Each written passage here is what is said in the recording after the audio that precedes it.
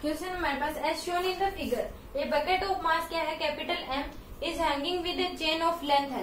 जितना ये लटक रहा है, ये लेंथ क्या है? हमारे पास एल है पुल्ली से लेके नीचे तक। Mass of part of the chain between the pulley and the bucket इस पुल्ली से लेके और इस बकेट तक ये पूरी जो लेंथ इसकी क्या है? एल है।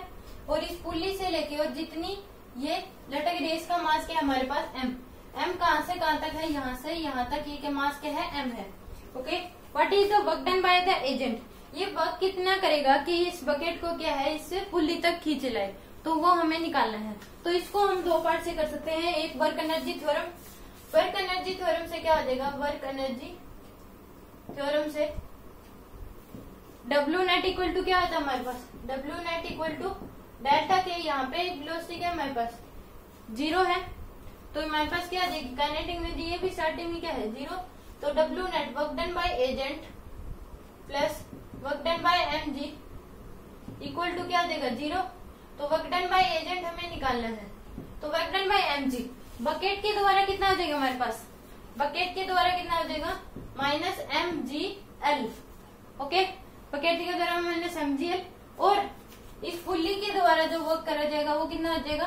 फुल्ली का कितना हो जाएगा? यहाँ पे क्या हो जाएगी? एल बाय टू हो जाएगी होल मास यहाँ कंसेंट्रेट हो जाएगा। तो minus M G L by में टू इक्वल टू ज़ीरो क्योंकि इस बकेट का मास एम है तो नीचे की तरफ़ क्या लगेगा? एम जी लगेगा। और लेंथ कितनी है? एल है। तो M G L work done by M G यानी कि mass into sorry work done force into displacement okay तो नेगेटिव में क्योंकि डिस्प्लेसमेंट नीचे की तरफ़ हो रही है मतलब फोर्स नीचे और डिस्प्लेसमेंट ऊपर की तरफ़ तो हमारे पास क्या नेगेटिव के साइन और इस पुल्ली का देखें तो इसकी लेंथ क्या है? यहाँ से यहाँ तक क्या मास क्या है? एम है।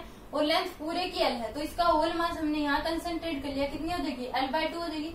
तो एम जी एल बाय में टू क्योंकि इसके नीचे की तरफ़ क्या लगेगा? एम लगेगा एम जी लगेगा तो फोर्स इंटू डिस्प्लेसमेंट डिस्प्लेसमेंट ऊपर की तरफ़ एल बाय टू तो वर्कडन बाय एजेंट क्या आ जाएगा हमारे पास? वर्कडन बाय एजेंट क्या आ जाएगा? M M G L plus M G L by में टू ये आ जाएगा। एक हम निकाल सकते हैं work done by agent equal to क्या आ जाएगा? Delta K plus delta U, okay? Mechanical energy से निकाल सकते हैं। ये क्या है हमारे पास? फाइनल ये हमारे पास क्या है? फाइनल पोजिशन है। ये हमने मान ली के इनिशियल पोजीशन यहाँ क्या देगी हमारे पास? फाइनल पोजीशन तो काइनेटिक एनर्जी इनिशियल क्या है हमारे पास? M G L M G L क्योंकि वेलोसिटी क्या है हमारे पास? ज़ीरो। तो काइनेटिक एनर्जी क्या हो? जाएगी equal plus potential energy initially में क्या है हमारे पास? Potential energy M G L और फाइनल में हमारे पास क्या देगी ऊपर जब चलिए तो माइनस यू फाइनल हमारे पास कितनी है? एम जी एल और इन, फिर इनिशियल क्या हो जाएगी हमारे पास?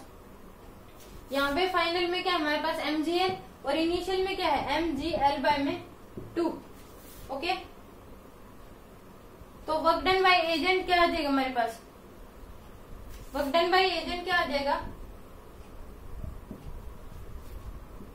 M G L plus M G L by में टू तो दैट इज़ द आंसर दो प्रकार से हमने इसको निकाल लिया।